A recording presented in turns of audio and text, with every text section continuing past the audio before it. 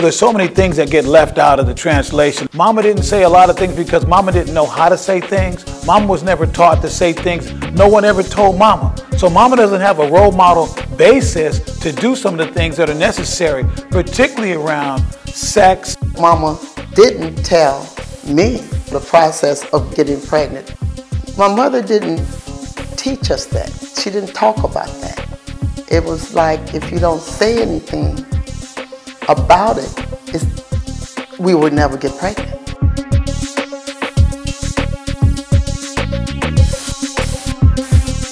We have to put it in historical context. You know, young girls, 12, 13, 14, 16, 17 having kids.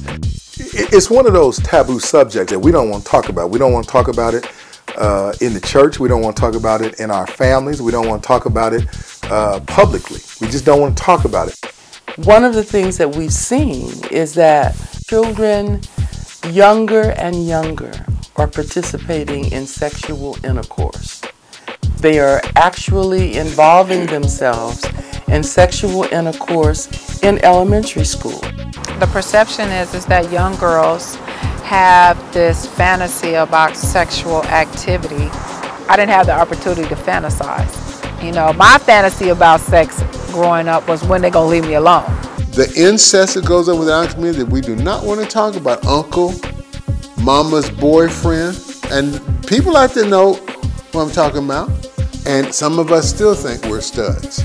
You know, I'm a, I, I slept with her and her and her and her and her and go on, and we take no responsibility for our children.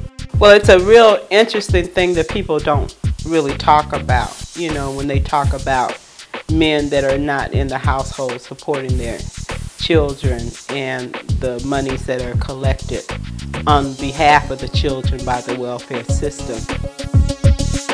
And I guess the question for me is how do we get to a place where people are making more intelligent choices?